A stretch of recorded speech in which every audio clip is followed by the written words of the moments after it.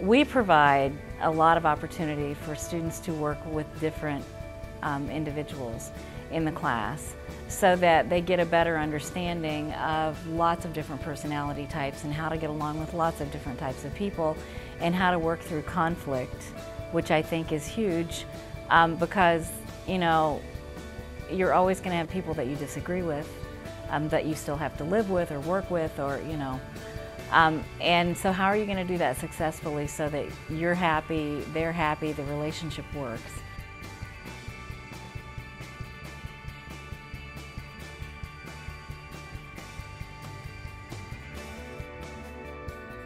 Interpersonal relationships is a course that at this high school counts as a health credit, so it does satisfy the health credit requirement for graduation.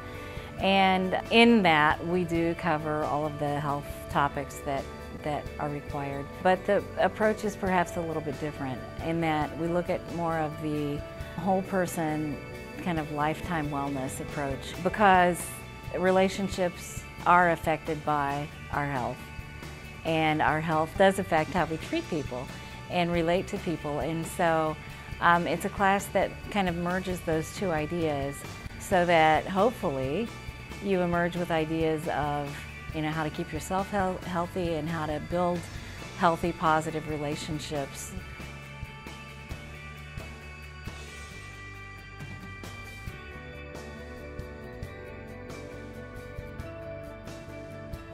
no prerequisites, but there is the requirement that this is the health credit. It's 9 through 12, um, and that's what we end up with. And I think that makes the class richer because you get different levels of experience that you can learn from.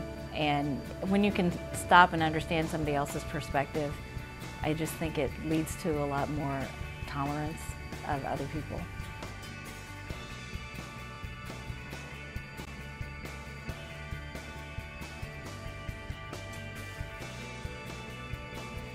time when, um, during adolescence, it's a time of trying to figure out who you are and what you want. And during that, what can be a really confusing process, you still have to be able to get along with people and all of those things. And, and hopefully we, we help you to have a better understanding of who you are and then work with your own strengths to be able to do that successfully.